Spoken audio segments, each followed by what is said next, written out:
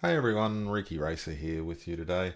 Just quickly going through um, how to put mods into your folder so you can actually put mods into your Farming Simulator 19. As you can see here, I have the Farming Simulator 19. So if you actually right click, go all the way down to properties here, open local files, browse local files.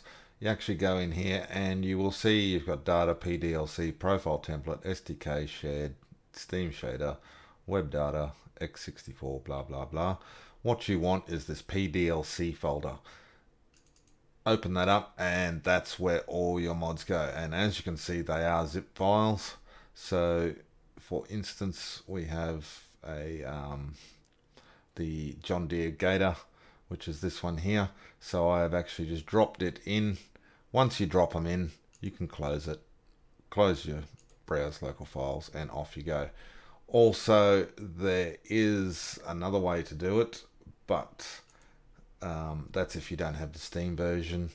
You can actually go into your um, documents, go into My Games, go into your Farming Simulator 19, and there is actually a mods folder.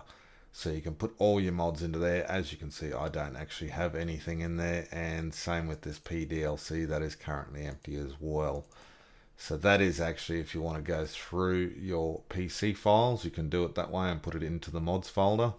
If you go through the Farming Simulator 19 way, um, the Steam way, sorry, and just go to your local files once more. And yeah, you will see PDLC and it does all work.